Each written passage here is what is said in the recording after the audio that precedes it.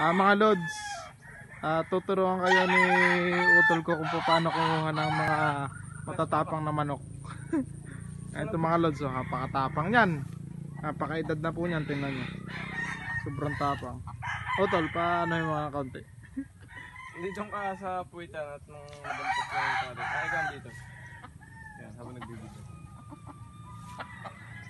Oo, oh, napakatapang po na yan. Ang diskarte po de, kailangan ninyo ma yan, makuha yung tali.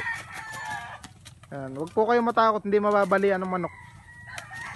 Kahit naga. yan. May hawak sa pulok. Yan po napakatapang talaga, napakabalasik. One time winner na po yan. Medyo mahirap lang po yung pagka yung ano, binabayan kukunin ninyo ay walang pulok. Ay nako. Tingnan natin kung magaling sa bitaw. At magaling siya.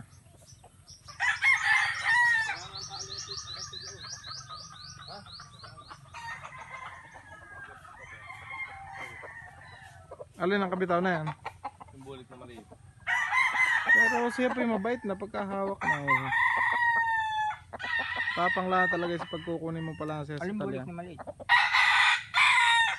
Yun?